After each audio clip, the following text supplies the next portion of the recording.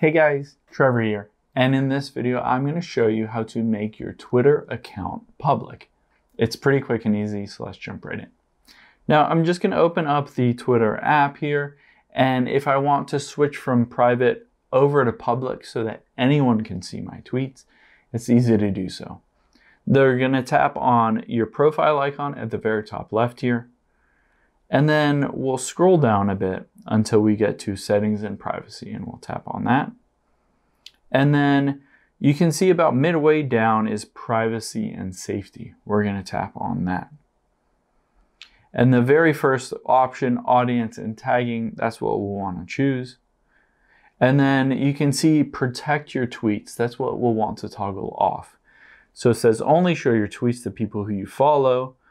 Uh, if selected, you will need to approve each new follower. So I can toggle that off, which means now my Twitter account has switched from private over to public. Anybody will be able to see my tweets, to retweet it, to comment on it, to like it, any of that stuff. Hope this helps. Thanks for your time today, and I'll see you on the next one.